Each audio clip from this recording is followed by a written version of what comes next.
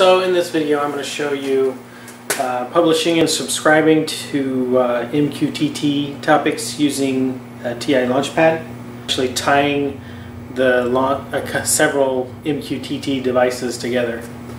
Okay, so for starters, MQTT is a very lightweight protocol that you can run on something like an Arduino, NetDuino, Raspberry Pi, or a TI Launchpad. This is a $12 TI Launchpad. Um, this is a 4C123.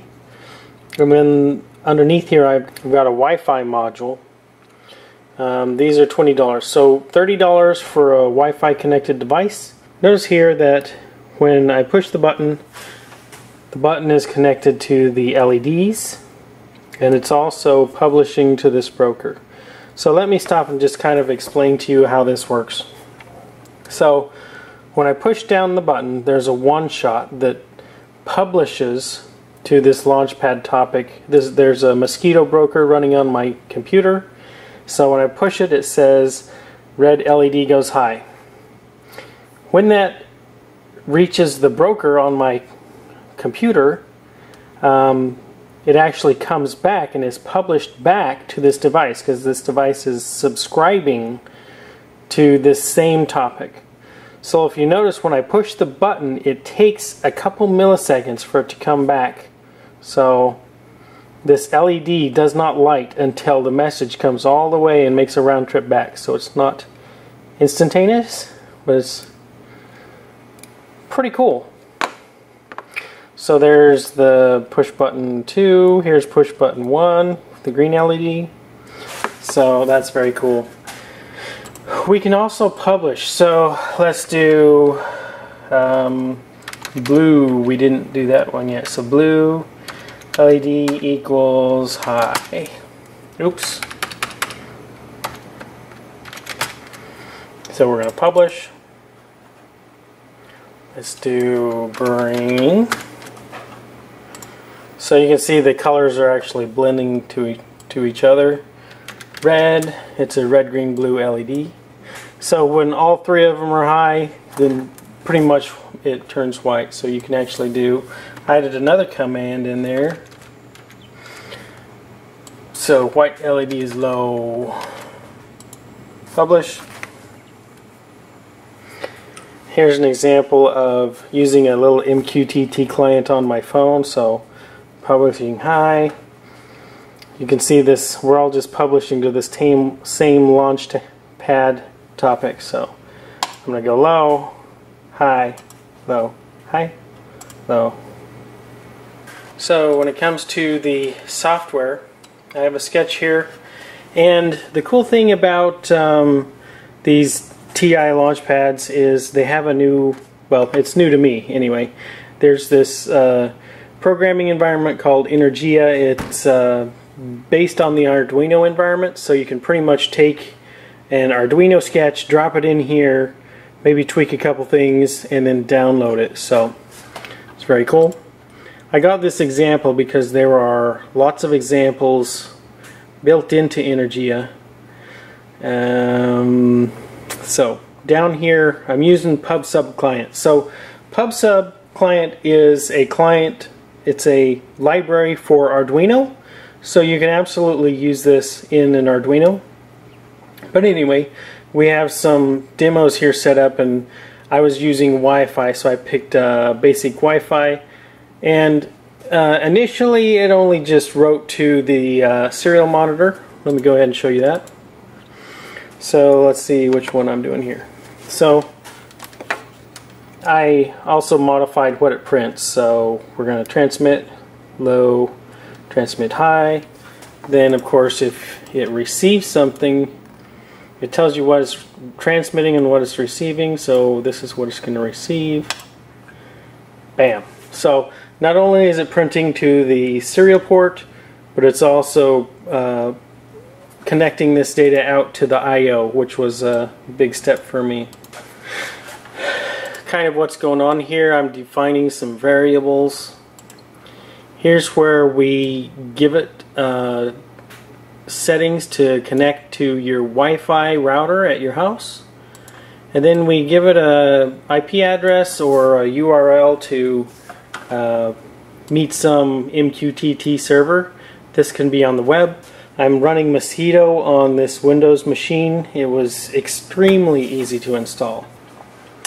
Okay, so in the Void setup, I was setting up these pins for the uh, LEDs for outputs and the push buttons for inputs. We set up the serial port, that's for this uh, debugging window over here.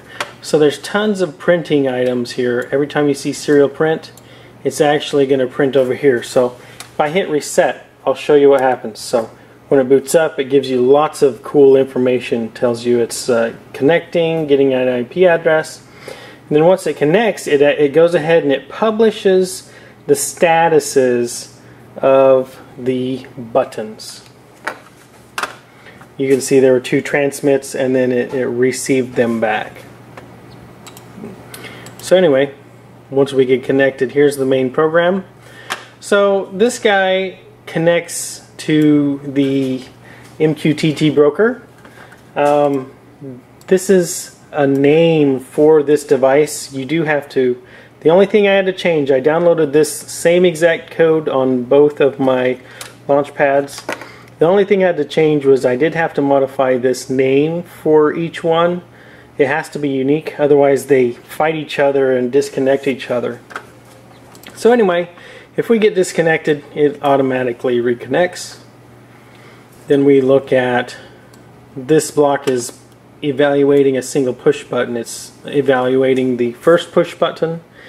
And that, I'm using this variable to basically do a one shot. So as long as they're um, matching each other, we don't do anything. But if push button So this says if the push button is not like the variable push button, we go ahead and do this. The first thing we do is we set them like each other so that the next time around um, it won't run. That's the one-shot part. Then of course um, we go ahead and say if it's if the button's low, do this. If it's high, it does that. Blah blah blah. This right here is client loop. The delay may not be needed, by the way, um, but um, client loop goes down here and checks for the callback somehow using the um, library. So without this, it won't be uh, checking for callback. So this is a subroutine down here, and first thing it does is, I really don't know how it works, but it brings a payload back in whenever it receives the message that you have subscribed to. So the topic is all the way back up here. So this is the topic we are subscribing to. Um, and then right here, this is the topic we're publishing to. You can easily change this to whatever you want. You can publish and subscribe to whatever topics you want.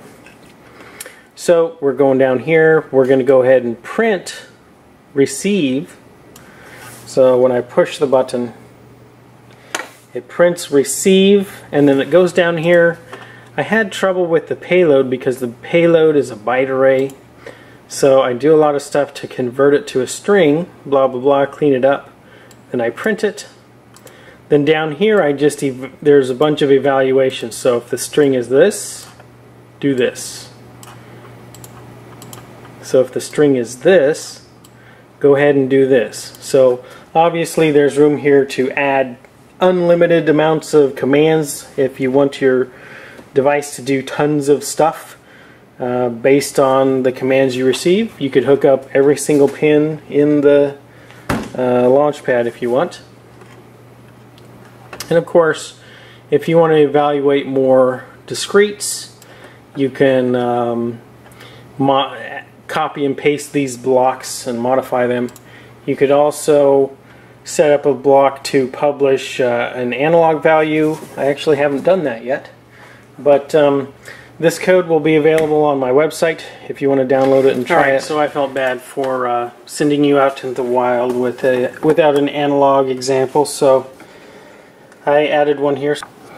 I attached a potentiometer to analog zero. So um, if I adjust the potentiometer a little bit here, we'll see it uh, evaluate. It updates the values every once in a while. So a few things happened to me. Um, it would update so fast that it it uh, caused my MQTT client here to lock up. so I put a timer in here, a counter that pretty much limits it to update every second and a half. And then there's also a dead band here, so it, it needs to be 30% um, more or 30% less than the saved value before it updates. So we um, read the analog value. If the criteria is met, we go ahead and go in here. Unfortunately, once again, um, this is an integer and the stinking um, pub sub for MQTT requires a char array. So these lines are all just converting this data to a char array so that it will work properly. This is the simple line that actually publishes the data to the uh, MQTT broker. And of course we're going to print to the uh, debug window over here. And then lastly, I didn't haven't talked about MQTT.fx. This is a free um, MQTT client. So on the subscribe tab, you can type in a topic. So we want to subscribe to the Launchpad topic. We subscribe. After we do that, we're going to receive messages on that topic. Then on the publish side, of course, you can type in the topic you want to publish to and go ahead and publish. Notice that the device received that. Um, you can also right click and add this to the clipboard which is pretty cool over here so I can do basically like a shortcut thing here.